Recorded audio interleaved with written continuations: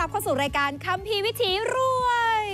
เจอกันแบบนี้นะคะจันทร์อังคารบ่ายโมงตรงทาง m c o t HD หมายเลข 30 ค่ะ รายการที่จะอยู่เคียงข้างผู้ประกอบการพ่อค้าแม่ค้า SME และสตาร์ทอัพทั่วประเทศ เราจะก้าวข้ามอุปสรรคไปด้วยกันนะคะคุณผู้ชม วันนี้นะคะมาเปิดคัมภีร์อีกหนึ่งธุรกิจน่าสนใจมากๆ คัมภีร์เล่มนี้นะคะ เป็นคัมภีร์ที่เกิดขึ้นในช่วงโควิด -19 ที่ผ่านมาค่ะ เมื่อโควิด -19 ได้หยิบยื่นความท้าทายให้กับพวกเขาแล้ว พวกเขาก็ไม่หลีกหนีความจำเจในการใช้ชีวิต พยายามหาทางหนีทางรอดด้วยการเพิ่มธุรกิจขึ้นมาใหม่ จากที่ก่อนหน้านี้เป็นเพียงพนักงานประจำเท่านั้นนะคะ วันนี้แขกรับเชิญของเรามาสองท่านด้วยกันค่ะ เป็นเจ้าของธุรกิจที่มีชื่อว่ามุ้งมิ้งทรีโฮมนั่นเอง ต้อนรับทั้งสองท่านนะคะ คุณนัทและคุณตาวสวัสดีค่ะ มาแล้วนะคะ มาพร้อมกับความสดชื่นความสดใสค่ะ เป็นต้นไม้จิ๋วค่ะคุณผู้ชมที่เห็นอยู่ด้านหน้านี้ เป็นฝีมือของทั้งสองท่านเลย ใช่ค่ะ ขอถามถึงจุดเริ่มต้นอีกสักครั้งหนึ่งขยายความให้คุณผู้ชมได้เข้าใจนะคะว่าธุรกิจนี้เห็นบอกเกิดขึ้นในช่วงโควิด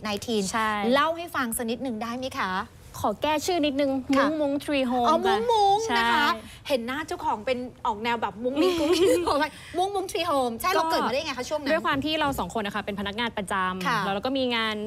ดูนนี่นั่นแล้วพอช่วงโควิดเนี่ยมัน work from home อ๋อลูกค้าแล้วก็หายอะไรหายก็ทั้งรายได้ แล้วก็มีเวลาที่มากขึ้นอือหือแล้วเราก็เลยรู้สึกว่า เอ๊ะมันน่าจะมาทำอะไรได้บวกกับตอนนั้นนะเพิ่งซื้อคอนโด ก็เลยอินกับต้นไม้อ๋อพร้อมกับมีเพื่อนที่เล่าให้ฟังว่าเอ้ย เนี่ยแต่บริษัทเขาอะเป็นบริษัทเกี่ยวกับ decoration อะไรพวกเนี้ยอ๋อไม่มีปัญหาเลยนะ ลูกค้าเยอะมากช่วงนี้โควิดมีคนแต่งบ้านเยอะมาก มันก็เลยเป็นจุดเริ่มต้นที่เรามองเห็นเอ้ยมันน่าจะมีอะไรที่เราสามารถเริ่มได้ ก็กลายเป็นมุ้งมุ้ง Tree Home ขึ้นมา แล้วทีเนี้ยทำไมถึงตั้งชื่อเป็นชื่อนี้ล่ะเออปกติเอาเวลาเราพูด มุ้งมิงฟรุ้งฟริงกุ้งกิ้งนะคะทำไมของคุณเป็นมุ้งมุ้งคะมันมายังไงคะ แต่คำพวกนั้นเป็นจุดเริ่มต้นค่ะ คือออตอนที่เหรอเราก่อนที่เราจะทำพวกเนี้ยเราก็มองแล้วว่า target เราน่าจะเป็นใครค่ะ แล้วก็มองว่าเอ้ยเป็นสาวๆผู้หญิงพนักงานออฟฟิศเขาชอบอะไรที่แบบมุ้งมิ้งมุ้งมิ้งอะไรอย่างเงี้ยอ่าแต่จะมุ้งมิ้งก็อาจจะไปซ้ำกับที่อื่นก็อะอะไรที่มันดูมุ้งมุ้งอะไรอย่างเงี้ยค่ะอ๋อใช่เออส่วนคำว่านะคะ tree home เราก็มองว่าเราใช้คำที่มันง่ายที่สุดละกัน ถ้าเวลาคนเขาหาร้านเราอะไรอย่างเงี้ยก็อะมุ้งมุ้ง M U N G M U N G underscore tree home อย่างเงี้ยค่ะเอ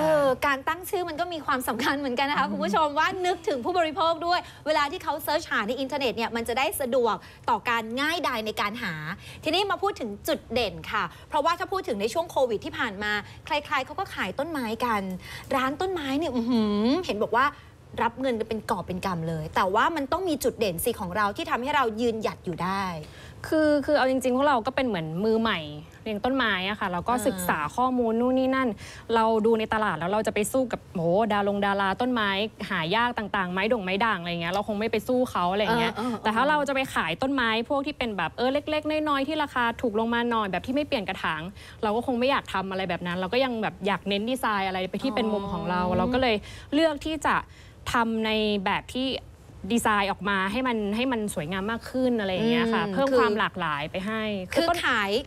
ขายดีไซน์ ใช่ ขายไอเดีย ใช่ ไม่ได้เน้นว่าขายต้นไม้อย่างเดียว แล้วก็ไม่จำเป็นว่าราคามันจะต้องเป็นราคาที่แบบแนวตลาดทั่วไปก็ได้ ใช่แต่ว่าไอเดียเนี่ยมันจะนำพาไปสู่ราคาใช่ที่คนจะจับต้องได้เองใช่ นะคะอะทีนี้เดี๋ยวเรามาดูดีกว่านะคะ ถึงต้นไม้ของเขาที่เขาบอกว่าขายไอเดียนี่เป็นจุดเด่นของเขาพามาดูแต่ละต้นดีกว่าค่ะอะนำเสนอหน่อยต้นไหนอยากนำเสนอเอาต้นนี้ละกัน คือโดดเด่นที่สุดเลย คืออย่างพวกเราก็มองมองตัวเราเองเป็นหลักอะค่ะ ว่าเราอยู่คอนโดอย่างเงี้ยค่ะเราคงไม่สามารถไปปลูกต้นไม้ที่เราจะต้องแบบประคบประหงมเขาได้ขนาดนั้น เออเราก็จะเลือกต้นไม้ส่วนใหญ่ของที่ร้านน่ะก็จะเป็นต้นที่แบบเลี้ยงง่ายตายยาก อืม ตัวต้นไม้มันอาจจะไม่ใช่ต้นไม้ที่หาได้ยากหาได้ง่ายๆอะไรอย่างเงี้ยค่ะ แต่เราดูฟอร์มดูเชฟเขาแล้วก็เอ้ยเรามาแมทช์กับกระถางแบบนี้ดีไหมอะไรอย่างเงี้ยถ้ามันไปตั้งมุมหนึ่งของที่ออฟฟิศหรือที่บ้านเงี้ยมันก็อาจจะสวยงามขึ้นมาได้ เอาจริงๆนะคะคุณผู้ชมโอ้ยังไม่เคยเห็นกระถางแนวนี้เลย แล้วก็ไม่เคยเห็นใครเอาต้นไม้มาใส่กระถางแบบนี้ด้วยปกติที่เราเห็นก็จะเป็นเซรามิกเป็นปูนปั้นดินเผาอะไรก็ว่าไป ใช่แต่เนี่ยมันเป็นวัสดุที่เราออกแบบ ใช่ แล้วเลือกเอามาจับรวมกันเองใช่ค่ะ นะคะงานนี้คุณนัทมีส่วนด้วยใช่ไหมคะก็ด้วยครับผมค่ะก็คุณนัททำในส่วนไหน จริงๆก็จะเป็นคนช่วยดูพวกกระถางฟอร์มพวกต้นไม้แล้วก็รวมถึงอ่าสิ่งที่โรยหน้าพวกต้นไม้เนี่ยเราจะดูเรื่องฟอร์มสีสีของกระถางเอามาแมทชิ่งกัดูนมูดแอนโทนอะไรอย่างเงี้ยนะคะขออนุญาตนะคะ แม้กระทั่งการโรยหน้ากระถางขออนุญาตค่ะคุณผู้ชมนี่ เขาก็จะต้องเล็งดูด้วยนะคะว่าเขาควรจะต้องใช้สีไหนแบบไหน ครับ เม็ดอะไรมาโรยใช่ โอ้โหต้องคิดคำนวณกันถึงขนาดนี้เลยนะคะ มันก็จะมีลูกค้าค่ะที่เขาถ่ายรูปห้องเขามา แล้วก็แบบห้องค่ะ เขาเป็นมูทโทนนี้นะ จัดแบบนี้ให้หน่อยอะไรเงี้ยเออนะคะอะต้นนี้ราคากี่บาทคะต้นนี้ 990 บาทค่ะ990 บาทเขาชื่อต้นว่าพญาไรใบค่ะ อืม พเลี้ยงญาง่ายไรบายเลี้ยงง่ายใช่สามารถที่จะเลี้ยงในคอนโดอพาร์ตเมนต์ได้หมดเลยใช่ใช่แดดต้องไว้แบบไหนร่มๆลำไรๆมีแสงเข้าถึงก็โอเคแล้วค่ะ โอ้นะคะนี่ค่ะคุณผู้ชม อันนี้พญาไรใบนะคะ อันนี้เป็น 1 ชิ้นแล้วชื่อว่าคุณผู้ชมเนี่ยเตรียม CF นะคะ แล้วไปดูต้นอื่นบ้างนี่ต้นริมนู้นนี่ริมนี้อ่าอันนี้ก็คืออย่างที่บอกว่าเราก็พยายามเพิ่มความหลากหลายของค่ะต้นไม้ที่ร้านนะคะ คือมันจะมีอยู่ช่วงหนึ่งที่ทุก คนจะฮิตแบบไซใบสักอะไรอย่างเงี้ยเออก็จะมีแบบเออฟอร์มใหญ่ๆ งั้นเราก็เลือกให้มันแบบเล็กๆ แล้วกัน ตั้งมุมนึงอะไรอย่างเงี้ยค่ะ แค่เป็นแบบจิ๋วหน่อย ราคาเท่าไหร่คะ ต้นนี้อันนี้ 450 บาท อ่า450 ซึ่งก็เหมาะมาก ๆ เลยนะ ซื้อเป็นของขวัญในช่วงปีใช่ใหม่นี้ใช่นะคะอะใช่ค่ะ ทีนี้มาดูต้นเล็ก ๆ จิ๋วๆ แบบนี้บ้างค่ะ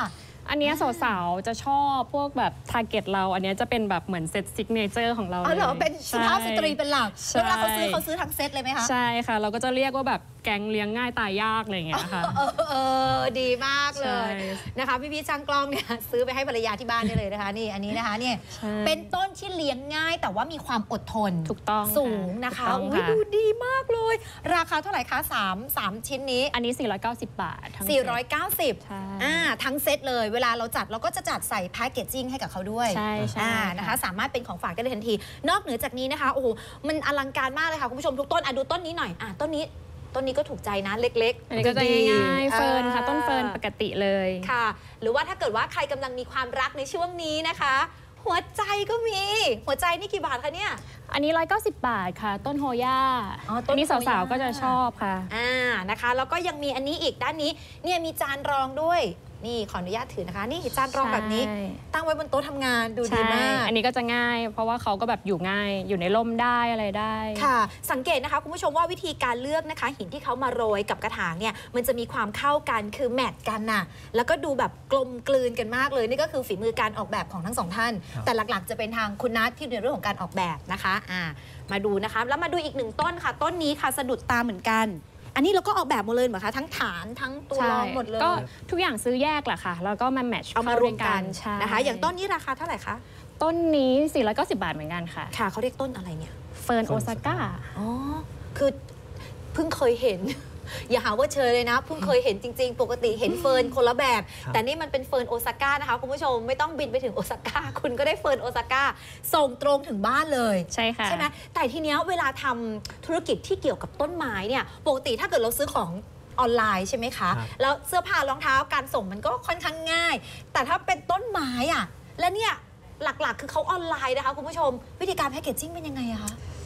จริงๆ ค่อนข้างยากเหมือนกันค่ะ คือตอนแรกเราก็ต้องล็อกตัวหน้าดินนี้ก่อนค่ะไม่ให้หินมันร่วงอืมใช่ไหมคะ แล้วก็เอากระดาษทับอีกหนึ่งทีเพื่อครอบ ไม่ให้มันหลุดอีกทีนึงอ๋อตัว bubble เราต้องห่อใบ คุมไม่ให้มีอะไรมากระแทกเขา bubble ห่อรอบค่ะทั้งหมดอีกหนึ่งทีอืคุมกระถางไม่ให้แตก กระดาษแข็งรวบอืมรวบอีกทีหนึ่งพอลงกล่องแล้วก็ต้องบล็อก ทุกอย่างไม่ให้เขาขยับเลยอะค่ะ คือค่อนข้างละเอียดมากเห็นเธอเล่าให้ฟังนะคะ นอกรอบบอกว่าวันไหนออเดอร์เยอะเนี่ยแพ็คกันทั้งคืนถึงเช้าเลยถูกไหมคะใช่ใช่เราน้ำแพ็คไว้แพ็คก่อนไม่ได้ไงคะอ๋อเพราะว่าเราต้องรีบส่งเลย คือต้นไม้เนี่ยมันจะมีความสดของเขาเนาะใช่พอถึงเวลาเพื่อที่จะให้ไปถึงมือของของผู้ซื้อได้สะดวกแล้วก็รวดเร็วที่สุดแล้วไปถึงเนี่ยความเสียหายต้องน้อยที่สุดใช่เท่าที่จะเป็นไปได้ด้วยใช่แต่ถ้าเกิดมีความเสียหายยังไงทางร้านเราก็ยินดีถูกต้องรับค่ะเคลมให้ทุกอย่างถูกต้องใช่ไหมค่ะคะเอาละค่ะแต่เดี๋ยวช่วงหน้าเราจะกลับมาพูดคุยกับทั้งสองท่านต่อเจาะลึกลงไปว่าเอ๊ะเขาทำการตลาดออนไลน์ ขายต้นไม้อย่างไรให้ประสบความสำเร็จ หลายคนเชื่อว่าชมรายการอยู่กำลังขายของออนไลน์ด้วย เดี๋ยวช่วงหน้ามาลวงลึกกันนะคะ แต่ว่าช่วงนี้ชอบทานก๋วยเตี๋ยวไก่ไหมคะ มากเลยค่ะ โอเค มีร้านนี้แนะนำไปดูว่าร้านนี้ทำไมคนถึงต่อคิวซื้อก๋วยเตี๋ยวไก่กันเยอะมาก ขายก๋วยเตี๋ยวไก่ดีเหลือเกิน ไปล้วงเคล็ดลับกันกับอร่อยตามแมปค่ะ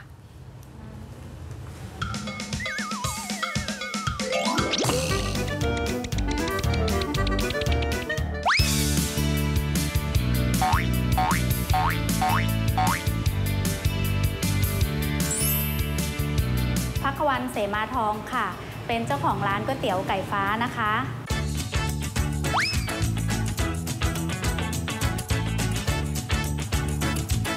เมนูพิเศเศษของร้านที่ขึ้นชื่อก็จะเป็นก๋วยเตี๋ยวเป็ดก๋วยเตี๋ยวไก่ก๋วยเตี๋ยวไก่ตุ๋นเป็ดตุ๋นต้มยำเนื้อเป็ดเนื้อไก่ของเรานะคะ ตุ๋นได้ที่จะไม่เปื่อยเกินไปส่วนตีนไก่ข้อไก่นุ่มละมุนลิ้นมากค่ะ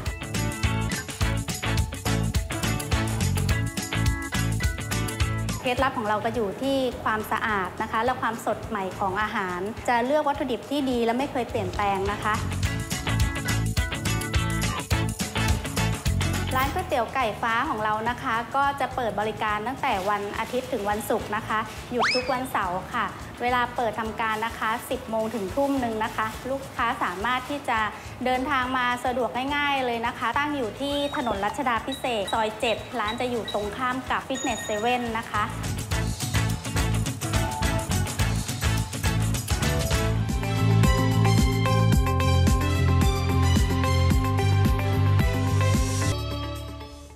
ลับเข้าสู่คัมภีร์วิถีรวยกันต่อช่วงนี้พูดคุยกับคุณนัทและคุณตาวนะคะ เจ้าของแบรนด์ต้นไม้ออนไลน์ที่มีชื่อว่ามุ้งมุ้ง tree home นั่นเองนะคะ เมื่อสักครู่นี้เราได้ทราบถึงจุดเริ่มต้นไปละนะคะ แล้วก็ดูต้นไม้แต่ละต้นเชื่อว่าคุณผู้ชมหลายท่านคงอยากจะ CF นะคะ แต่เดี๋ยวใจเย็นๆค่ะ เรื่องราวของเขายังมีอะไรน่าสนใจมากกว่านั้น เพราะว่าการทำธุรกิจออนไลน์ทั้งสองท่าน ในเรื่องของการขายต้นไม้เขาก็เริ่มในช่วงโควิดเหมือนกัน แบบเต็มตัวเลยใช่ค่ะนะคะ ทีนี้บอกเทคนิคได้ไหม ว่าเราทำออนไลน์ยังไงให้ประสบความสำเร็จ หลักๆ เราเน้นไปตรงไหนก่อนคะ ถ้าพูดถึงออนไลน์ขายของเนาะก็ลง Facebook IG ของคุณตาวเป็นยังไง เราเริ่มต้นจาก Instagram ค่ะ ด้วยความที่พอเราแบบทำงานในสายงานนี้อยู่แล้วทางด้านค่ะ marketing เนี้ยเราก็รู้ว่าอะไรที่มันใช้ภาพเป็นหลักเนี่ยมัน Instagram เนี่ยมันเป็นแพลตฟอร์มที่ช่วยในการตัดสินใจซื้อได้ง่ายกว่า ใน Facebook เนี่ยอะไรมันเยอะแยะมากมาย คนจะอ่านอ่านอ่านเยอะไม่เราไม่ต้องมาอ่านอะไรของเรา เราไม่มีข้อมูลอะไร เราใช้ภาพขาย ใช่ นี่เลยอย่างที่ภาพที่เห็นแบบนี้ใช่ไหมคะที่เอาลงใช่ค่ะ Facebook อ๋อคือเน้นขายแบบสวยๆ แบบใช่เรียวๆ ให้เห็นแบบใช่จะๆเลย ถูกต้องค่ะ ไม่ต้องบรรยายอะไรมากมาย ไม่ค่ะ แล้วอย่างนี้เราต้องใส่ราคาใส่อะไรไปด้วยไหม แต่อันนี้เราจะใส่ข้อมูลให้ให้พร้อมให้ครบ อ๋อให้เขาอ่านรู้เลยว่า เอ้ย อันนี้เขาตั้งได้ในร่ม ราคาเท่านี้อ๋อ เลี้ยงแบบนี้ ถ้าคุณสนใจจะซื้อกดคลิกเลยหน้าโปรไฟล์หรือแอดไลน์ได้เลย เราพยายามจะทำอะไรให้มัน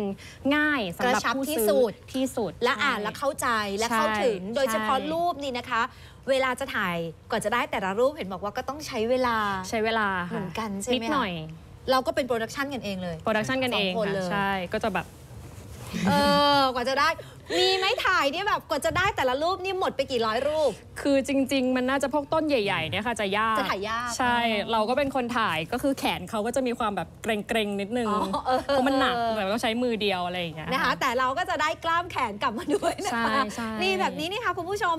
ง่าย ๆเลย แล้วก็จะบอกไซส์นะคะบอกวิธีการเลี้ยงแล้วก็บอกชื่อต้นแล้วก็บอกราคาด้วย คือคุณตาวมองว่าจุดเนี้ยจะเป็นจุดที่ดึงดูดได้ง่ายที่สุดถูกต้องค่ะนะคะ แล้วก็เข้าทางเราใช่เพราะนะคะท้ายสุดเราต้องรู้ว่า target ของเราเป็นใครอืมเพราะว่าอย่างเราสองคนอะก็มองตั้งตั้งแต่แรกแล้วว่าเอ้ยคนที่จะมาซื้อเราอะน่าจะเป็นเพศหญิงนะอ่าช่วงอายุประมาณเท่านี้นะค่ะอย่างเงี้ยค่ะ แล้วมันก็จะง่ายกับการไม่ว่าจะเป็นภาพตัวแคปชั่นเอง หรือแม้กระทั่งการ boost การซื้อ ad อะไรอย่างเงี้ยค่ะ มันก็จะ scope มันก็จะแคบมากขึ้นค่ะไปให้ตรงอะไรอย่างเงี้ยแล้วเขานะคะใช้เงินเพียงไม่เท่าไหร่นะคะคุณผู้ชมในระยะเวลา 6 เดือน แต่ว่ามีคนติดตามตอนนี้ ประมาณ 1 2ื่นค่ะ เริ่มเฉพาะใช่วงโควิดนี่เอง ใช่เราใช้ค่ะ เงินต้องใช้เงินโพสต์โพสต์อะไรช่วงยังไงคะเริ่มใช้บ้างค่ะ ประมาณรวมๆแล้วประมาณ 900 บาท900 บาทใช่ นะคะ แต่ว่าผลตอบรับกลับมานะคะเขาขายได้เดือนละเกือบ 6 หลักใช่ไหมคะอ่า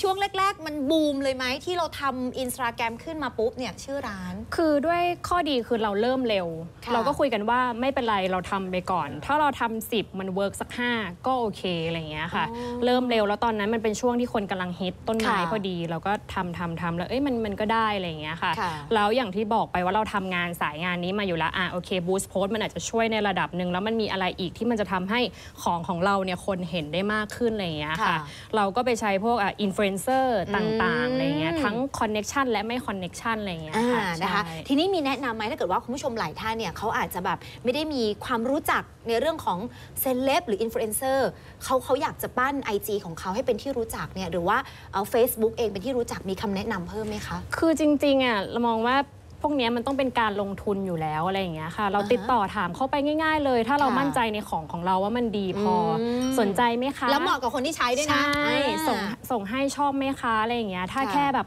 ลงสตอรี่ให้ก็ได้แท็กร้านอ่าให้หน่อยอะไรอย่างเงี้ยค่ะ เราให้ 10 แล้วเขา 10 คนมีคนลงให้เรา 3 คนเราก็โอเคแล้วเออะไรอย่างเงี้อยก็คือว่าต้องรู้จักการ ลงทุนไปก่อนใช่แต่ว่าได้เท่าไหร่เนี่ยก็ก็ไม่ว่ากันไม่เป็นไรคือถ้าไม่ได้มันก็เสมอตัวแต่ถ้าถูกได้ต้องมันก็ดีถูกต้องใช่ไหมคะ แล้วตอนนี้เนี่ยใช่ก็มีคนติดตาม IG เยอะเพิ่มขึ้นเรื่อยๆด้วยใช่นะคะใช่ถามคุณค่ะนัทเนี่ยทันไหมเวลาที่จะหากระถงกระถางมาส่งออเดอร์แต่ละทีช่วงไหนเยอะสุดดีกว่าที่ผ่านมาโอ้โหถ้าอย่างช่วงนี้ก็จะเริ่มเยอะครับผมเพราะว่าใกล้ค่ะช่วงใกล้ช่วงปีใหม่คือพวกต้นไม้ก็ ลูกค้าก็จะมาซื้อหาเป็นของขวัญค่ะรับแล้วเราไปหาพวกแหล่งกระถางสวยๆอย่างเงี้ยเราไปหามาจากไหนอะอ๋อทุกที่เลยครับผมทั้งค่ะเพื่อตะเวนหาเองบ้างแล้วก็หาในออนไลน์บ้างเลยครับผมอื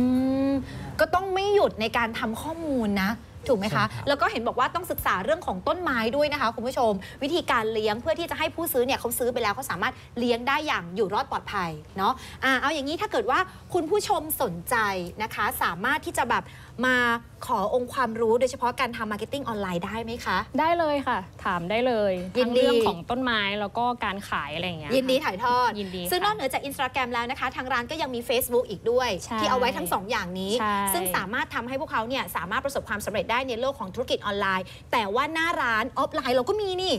ได้ไหมอ่า มีไปออกบูธบ้างเล็กๆอ่าน้อยๆเพราะว่าอย่างที่บอกเรายังทำงานประจำอยู่นะคะ ทั้งสองอย่างควบคู่กันไป แต่ขอโทษเถอะค่ะตอนนี้นะคะ รายได้เสริมนะคะ เทียบเท่ารายได้ประจำแล้ว ถูกไหมคะ แต่ว่าเธอทั้งสองคนก็ยังไม่ทิ้งนะคะคุณผู้ชมเพราะว่าในสถานการณ์แบบนี้อะไรอะไรๆมันก็เกิดขึ้นได้ถูกค่ะฝากให้กำลังใจดีกว่า คนที่ทำงานประจำอยู่แล้ว แต่ยังคิดไม่ออกเลยเอ๊ะจะจะขายอะไรจะหาเงินเพิ่มยังไงดี ช่วยสร้างแรงบันดาลใจผ่านหน้าจอหน่อยได้ไหมคะ เชิญค่ะ ก็น่าจะต้องเริ่มจากอะไรที่เราชอบก่อนนะคะ ถ้าเราชอบแล้วมันก็ค่อยๆศึกษามันไปดูตลาดดูอะไรไปทดลองไป อันนี้ได้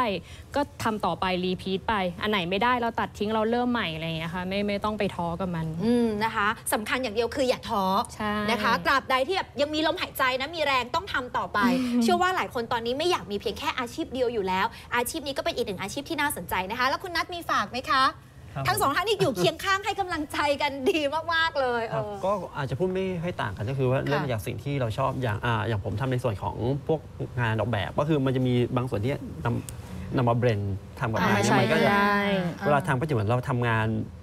พวกอดิเรกที่เรานับเอามาเอนประจอยอยู่ยุแล้วกต์ครับค่ะเราคิดไหมว่าวันหนึ่งเราต้องมาขายของออนไลน์ขายต้นไม้ออนไลน์อย่างเงี้ยจริงๆก่อนหน้าก็ไม่คิดครับไม่คิดเลยเลย ไม่คิดเลย เพราะว่าอย่างที่บอกเนาะอะไรอะไรก็เกิดขึ้นได้ครับแต่พอเมื่อเราเดินทางนี้เรารู้สึกว่าโอเคไหมมีความสุขไหม โอเคครับผมแฮปปี้นะคะรู้สึกอะไรที่มันเป็นของเราเองเราก็ภูมิใจแล้วเราก็พูดออกไปได้อะไรอย่างเงี้ยอืมได้มาออกรายการนี้ก็เป็นหนึ่งในความภูมิใจของเราอะไรอโอ้ย่างเงี้ยค่ะยเยี่ยมมาก ๆ เลยขอบคุณค่ะอะฝากทิ้งท้ายสนใจ ติดต่อได้ที่ไหนยังไงคะสำหรับแฟน ๆ รายการคัมภีร์วิถีรวย ค่ะ ก็ทั้ง Instagram นะคะ แล้วก็ Line Official Account นะคะ ชื่อเหมือนกันเลยมุงมุง Tree Home นะคะ M U N G M U N G underscore Tree Home นะคะ ค่ะนะคะ อย่าลืมนะคะแล้วก็